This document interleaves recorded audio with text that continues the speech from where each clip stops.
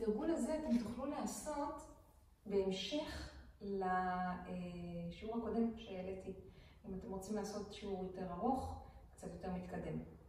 אנחנו נעבור מהעמידה שככה סיימנו לעמידת שש, ואנחנו נעשה משהו מאוד דומה לשיעור הקודם שעשינו.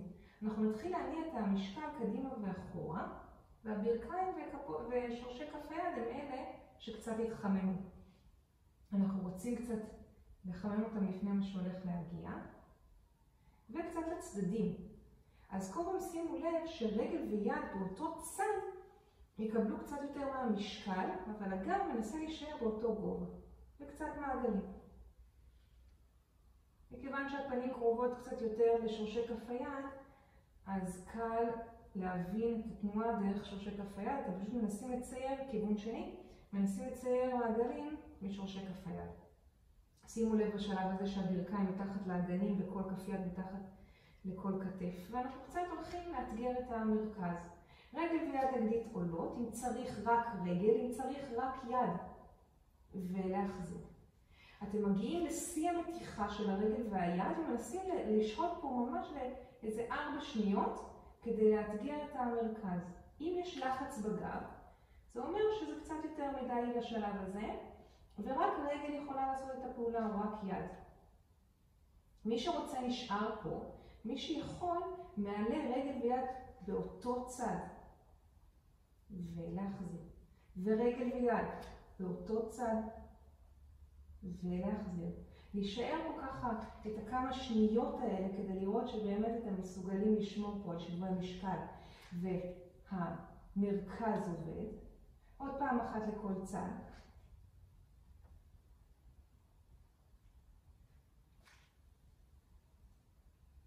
ולשחרר ולקחת מנוחת מנוחה.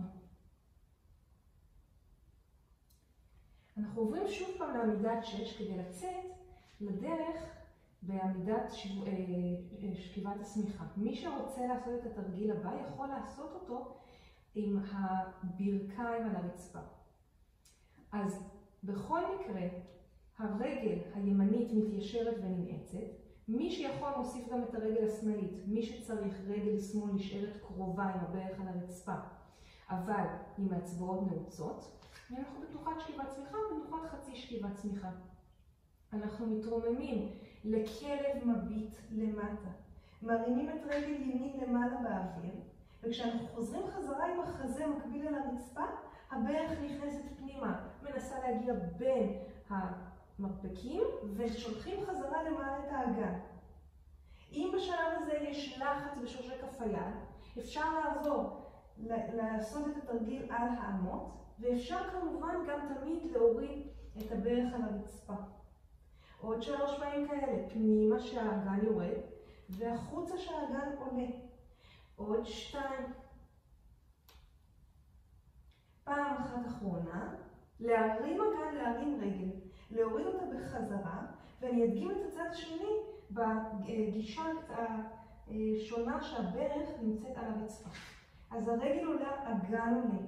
ואנחנו מכניסים פנימה את הברך בין המרפקים. ולהרים אגן, שימו לב שגם האצבעות של כף הרגל הימנית נעוצות ברצפה למרות שהברך נמצאת על הרצפה. אפשר בשלב הזה גם לרדת על האמות ולעשות את זה ככה. ולמתוח ולהכניס פנימה. עוד שתיים. פעם אחת אחרונה. ולשחרר. תנוחת מנוחה. אנחנו עוברים הלאה אל ה side bend. אז את הרגליים אתם מניחים אם אפשר אחת על השנייה, שהעקיבים יהיו באותו קו כמו האגן, והיד התחתונה נמצאת יחסית רחוק מהגוף. אפשר בשלב הזה גם להניח את הרגל העליונה עומדת, וזה יעשה את התרגיל קצת יותר נגיש. מי שיכול בשלב המתקדם להניח גם רגל על רגל, ואם צריך, רגל לפני רגל. אז אנחנו נתרגל את כל הרמות, נתחיל מהרמה הגבוהה. אז אנחנו נרים את האגן למעלה, היד העליונה גם תתרומם, ואנחנו נסים להגיע למצב שהגב, אה, סליחה, שהגוף בצורה קצת של בננה, שהאגן קצת יותר גבוה מהכתפיים. זה שאיפה כזאת. ולרדת כל הדרך בחזרה. שלב ביניים זה שהרגליים אחת לפני השנייה, ושוב אנחנו מרימים ומיישרים את שתי הרגליים ויורדים. מי שצריך מעמיד את הרגל העליונה, ושוב עולים, הרגל העליונה נשארת כפופה ויורדים, ואפשר לעשות את זה בשלב הרביעי, שגם הברך התחתונה נשארת על הרצפה,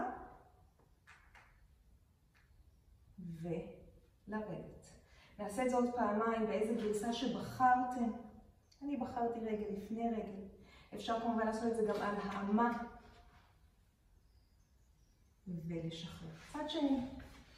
אז כל אחד בגרסה שלו, רגל יכולה לדרוך עם הברך שנשארת על הרצפה, רגל לפני רגל או רגל מעל רגל. בכל מקרה אתם מתחילים כשהרגליים יחסית רחוקות. והעקבים מנסים להיות באותו קו כמו האגן, היד התחתונה יחסית רחוקה, ואנחנו נועצים את הרגל התחתונה, אם אתם בחרתם אה, אה, בגרסה הכי מתקדמת, ממש לנעוץ אותה כאילו אתם רוצים למתוח קצת יותר את המזרן, אחרת יש קצת, אה, אפשר להחליק קצת. אז אנחנו שוב עולים, שתי הרגליים אחת על השנייה, זה השלב הכי מתקדם, ולרד. בשלב הזה הרגליים כבר יסתדרו לפעם הבאה. אני בוחרת לעשות את זה רגל לפני רגל, כי אני שוב מפחדת מפציעות. אז נעלה. האגן מנסה לעלות מעל הכתפיים, קצת תנועה של בננה. עוד שלוש פעמים כאלה, לא משנה באיזה גרסה בחרתם. מיידגים את הגרסה יותר בסיסית. רגל עוזרת. פעם אחת אחרונה. ונשחרר. נשב כרגע בישיבה מזרחית, ונתקדם קדימה עם הידיים רק כדי לשחרר גם את גידי כף היד. וגם את הגב טיפה. נשכב חזרה על הגב. אנחנו מתרגלים את ה jack knife, זה תרגיל מתקדם יחסית, ואפשר לעשות אותו עם רגליים ישרות או עם רגליים כפופות. אז את הידיים אנחנו נניח ארוכות לצידי הגוף, הרגליים יכולות להתחיל או כפופות, קרובות אלינו, או מהרצפה, ואנחנו מנסים לתת בעיטה מחבאה לראש עם הרגליים ומיד לעבור לעמידת נר. אז הרגליים עוברות, נותנות תפיחה ועולות מיד לעמידת נר, ידיים ישרות לצד הגוף ולרדת לאט ובשליטה, אם אפשר את הרגליים עד לסוף על הרצפה.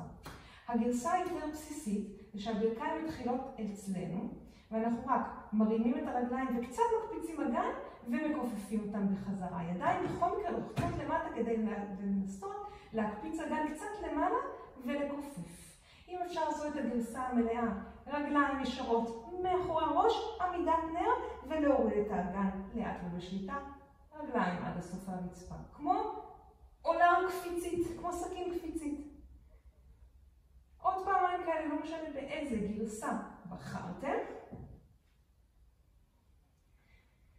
ופעם אחת אחרונה, ולשחרר. לקחת את הברכיים, מבט ימינה ושמאלה. נעלה עכשיו לעמידת נר. מי שצריך שם הגבהה מתחת לאגן כמו כרית גדולה מאוד. ואפשר גם לעשות את התרגילים הבאים עם אגן על הרצפה, או רק עם הגבהה קטנה שהידיים נמצאות מתחת לאגן בצורת יהלום. אז מי שיכול עולה לעמידת נר ותופס את האגן הפעם. הרגליים מתחילות לצייר את המספריים.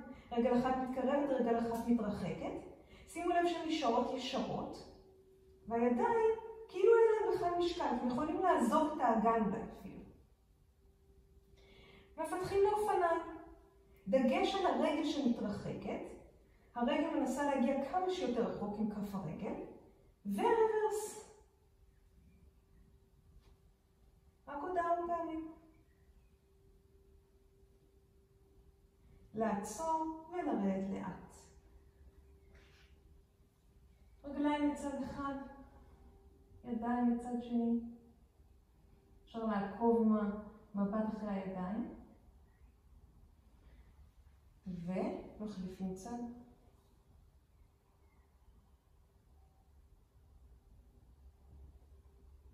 ולשחרר. בתנועת מימוד אנחנו עולים חזרה לישיבה, ויש פה שתי ברירות. אפשר או לתרגל את הרולינג לקבול הרגיל, שזה החזקה של הברכיים אלינו, להתעגל מצח לברכיים, ואת העקבים אנחנו מנסים כמה שיותר להצמיד אל האגן, או, סליחה, אז אני אדגים, להתעגל ולחזור בחזרה בלי שהרגליים עוברות ברצפה. מי שרוצה להישאר פה ורק לתרגל את שיווי המשקל, אפשר גם. אנחנו ננסה לתרגל את הסיל, כלב הים, אז אנחנו בעצם מלבישים את הכתפיים, את הברכיים על הכתפיים, רגל רגל, אם אפשר, ומנסים לתפוס את החלק העליון של כפות הרגליים עם כפות הידיים. מנסים להצמיד את כפות הרגליים עם כפות הידיים אחת אל השנייה, ואנחנו מנסים גם פה להישאר כמה שיותר רגולים. אם הגעתם לשלב הזה, אפשר גם פה להישאר, או שאפשר להתחיל להתעגל קדימה ואחורה. ואפשר גם להוסיף מחיאות. 1, 2, 3 מחיאות קדימה, 1, 2, 3 מחיאות אחורה. אז זה מכריח אותנו לעשות את השהייה הזאת גם קדימה וגם אחורה. שימו לב על הראש, לא להתגלגל יותר מדי כדי לא לקבל מכה בראש, אני לא שם כדי לשמור. ודי. למתוח ידיים למעלה, צד אחד, וצד שני, ולשחרר. בתולת הים, אפשר לעשות את זה בישיבה מזרחית, או בישיבת בתולת הים, הסגורה או הפתוחה. בכל מקרה, הצד שהירך פונה אליה, כל האמה יורדת, ואנחנו מתחים. בצד השני אוחזים בקרסול, ואנחנו צד שני. רגליים עוברות, נדגים עכשיו את בתולת הים קלאסית יותר, אז לצד שהירך פונה אליה, אנחנו מניחים את כל האמה, ואנחנו מותחים, שימו לב שזה up and over, אנחנו מנסים שה... המותן התחתונה תתרחק כמה שיותר מהרצפה. צד שני, תופסים את הקרסול ומותחים. צריך להרגיש מתיחה טובה בצד. מכיוון שאנחנו כבר במתקדמים, אז אנחנו מנסים לעלות פה בלי עזרת הידיים, אז מי שצריך עובר לאיזה ישיבה שנוחה לו, בכל מקרה אנחנו עוברים לעמידת ברכיים, משם ברך רגל, אנחנו עולים כל הדרך. לקחת המון אוויר ולשחרר.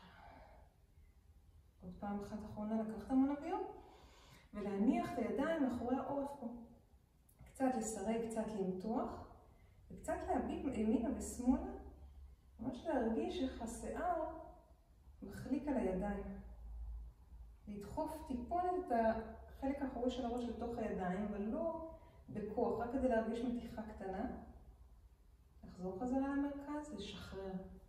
לסובב את הידיים אחורה, סיבובים ענקיים. ועוד שניים קדימה. להרים כתפיים ולזרוק אותם למטה. להרים ולזרוק. אם יש כאבי צוואר, נהדר לשחרור. פעם אחת אחרונה, ולהרים ידיים לקחת המון להצמיד כף יד לכף יד, תודה רבה.